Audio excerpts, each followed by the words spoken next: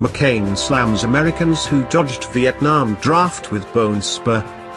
Senator John McCain appeared to take a swipe at President Trump in an interview that aired Sunday when he called out the highest income Americans at the time who found a doctor to say they had a bone spur so they could avoid the Vietnam draft.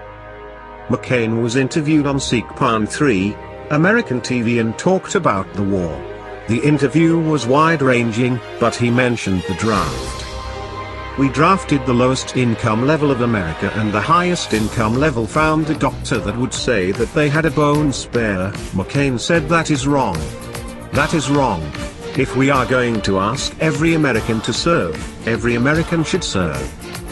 The New York Times reported last year that Trump received a total of five military deferments during the war. Four were for education and one, in 1968, was the bone spurs in his heels. During that time, the US inducted about 300,000 men into the military. I had a doctor that gave me a letter, a very strong letter on the heels, Trump told the paper. Trump and McCain have maintained a tense relationship since Trump appeared on the political scene. Trump was widely criticized for his comment in June 2015 when he said McCain was not a war hero. He was a war hero because he was captured, Trump said during the campaign. I like people who weren't captured.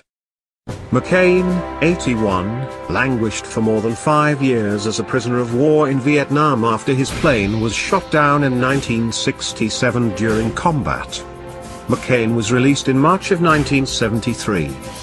McCain revealed in a 60 Minutes interview a few weeks ago that Trump never apologized to him for the comment.